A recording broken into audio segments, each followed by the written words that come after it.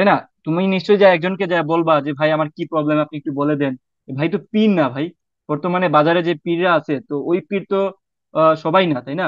তো ওই পীর তোমাকে বলে দিতে পারবে না যে, অ্যাকচুয়ালি যে তোমার কোন জায়গায় প্রবলেম হ্যাঁ তো তোমার প্রবলেম তোমাকে খুঁজে বের করতে হবে।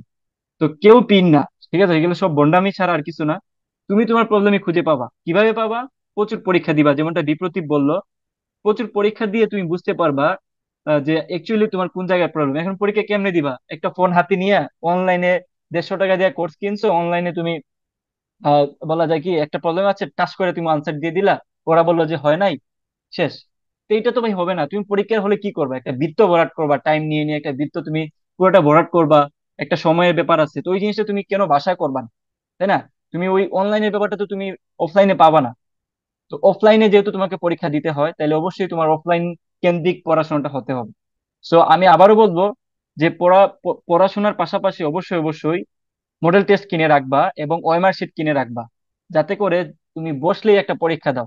পরীক্ষা দিলে তোমার অ্যাকচুয়ালি তোমার ওই ব্রেনের মধ্যে একটা সিগন্যাল যাবে যে, ভাই, আমাকে ওই সময়ের ভিতরে আমাকে ছত্রিশ সেকেন্ডের মাধ্যমে আমাকে হচ্ছে একটা প্রবলেম সলভ করে দিয়ে আসতে হবে এবং সাথে সাথে আমাকে হচ্ছে বৃত্তটা ভরাট করে দিয়ে আসতে হবে।